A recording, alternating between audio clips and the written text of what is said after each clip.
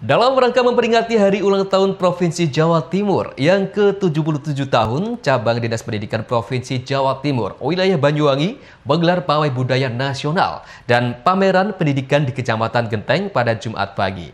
Dalam pawai budaya tersebut, selain diikuti kepala sekolah SMA SMK swasta negeri, juga delapan sekolah SMA SMK negeri swasta sekecamatan Genteng. Pawai Budaya Pendidikan Nasional yang digelar oleh Cabang Dinas Pendidikan Provinsi Jawa Timur, wilayah Banyuwangi tersebut mengambil start dari Sekolah Negeri 1 Genteng dan finish di Sekolah SMK Muhammadiyah 1 Genteng. Acara yang dimulai tepat pukul 7 pagi tersebut dilepas langsung oleh Kepala Dinas Provinsi Jawa Timur, wilayah Banyuwangi, Dr. Ades Istuhandono, yang juga langsung ikut terlibat memeriahkan Pawai Budaya Pendidikan Nasional yang didampingi oleh Dewan Pendidikan Sulitiono serta Kepala SMA SMK Negeri Swasta Sekabupaten Banyuwangi.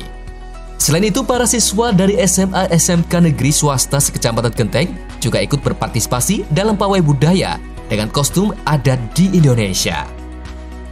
Delapan sekolah yang berpartisipasi tersebut yaitu SMA Negeri 1 Genteng, SMA Negeri 2 Taruna Bayangkara, SMA Muhammadiyah 2 Genteng, SMA Muhammadiyah 3 Genteng, SMA Nadatul Ulama, SMK Bustanul Falah, SMK Muhammadiyah 1 Genteng, dan SMK Muhammadiyah 2 Genteng.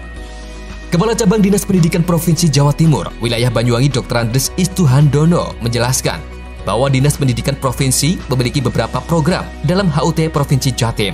Di antaranya, santunan anak yatim piatu yang diselenggarakan di Surabaya Selain itu juga mendorong sekolah-sekolah untuk menerapkan hidup bersih seperti sekolah, kelas, dan kamar mandi bersih. Setelah kita vakum selama 2 tahun, tidak ada kegiatan yang bisa ditampilkan untuk menghibur masyarakat, maka hari ini seluruh Jawa Timur serentak di lingkungan Cabang Dinas menyelenggarakan pawai budaya. Artinya lagi ini loh karya sekolah. Sekaligus kita menumbuhkan membangkitkan UMKM tadi di jalanan kita tahu ada saudara-saudara yang uh, membeli kejar UMKM kita borong kita beli. Nah ini maksud kegiatannya. Tapi lepas dari itu ini menghibur masyarakat sekaligus menunjukkan bahwa walaupun di masa pandemi pendidikan tetap terjaga. Kemudian yang terakhir dari empat kegiatan itu dikemas menjadi lomba membuat video pendek. Ya, nah dari empat kegiatan tadi yang saya sebutkan. Ditambah dengan konten anti perlindungan kemudian anti narkoba dan anti uh, kekerasan seksual. Dalam hal ini luar biasa dan kami mengapresiasi terhadap apa yang dilakukan oleh Pak Ibu dengan jajaran. Luar biasa ini walaupun setelah yang lalu kan kena pandemi agak mati tapi hari ini luar biasa.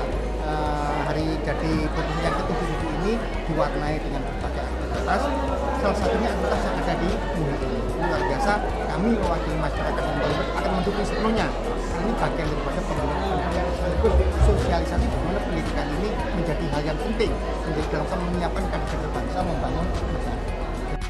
Setelah melakukan pawai budaya pendidikan nasional, peserta pawai langsung menghadiri pameran pendidikan di halaman sekolah SMK Muhammadiyah 1 Genteng. Dalam pameran itu, ada beberapa sekolah yang juga terlibat dan menampilkan pameran hasil karya dari sekolahnya masing-masing. Uh, pada pagi hari ini kebetulan pameran ini kan berlokasi di SMK Muhammadiyah 1 Genteng di lingkup Kecamatan Genteng. Oleh karenanya pameran ini kita libatkan seluruh sekolah-sekolah SMA maupun SMK yang ada di Kecamatan Genteng. Yaitu dari ITK Jagaria untuk memamerkan terkait dengan busana.